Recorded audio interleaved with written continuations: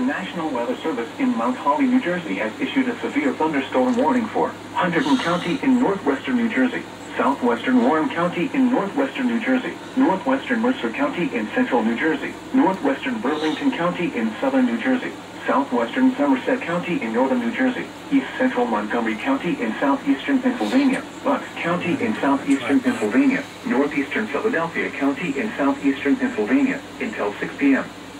At 5.09 p.m., severe thunderstorms were located along a line extending from near Regal to Bricks, moving southeast at 25 miles per hour.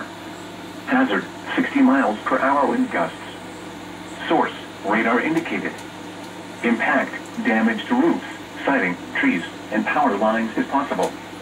Locations impacted include Philadelphia, Trenton, Somerville, Bensalem, Ewing, Lansdale, Manville, Burlington, Bristol, Percy, Doylestown, Byram, Riverside, Hatboro, Souderton, Bedminster, Flemington, Chalfont, Tinicum, and Hatfield.